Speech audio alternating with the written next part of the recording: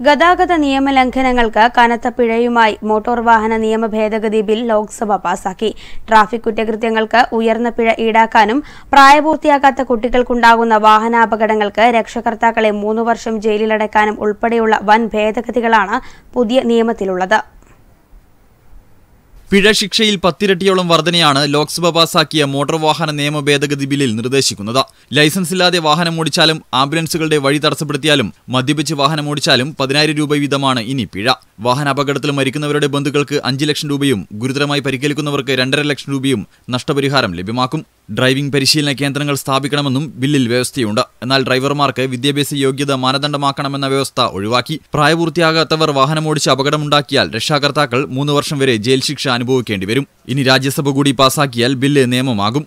ഹെൽമറ്റില്ലാതെ വാഹനമോടിച്ചാൽ പിഴത്തുക നൂറിൽ നിന്ന് ആയിരം രൂപയാക്കി ഉയർത്തി. ഡ്രൈവിംഗിനിടെ മൊബൈൽ ഫോൺ ഉപയോഗിച്ചാൽ അയ്യായിരം രൂപയും സീറ്റ് ബെൽറ്റ് ധരിച്ചില്ലെങ്കിൽ ആയിരം രൂപയും പിഴ ലോക്സഭ പാസാക്കിയ ബില്ലിൽ പറയുന്നത്. News desk Kannur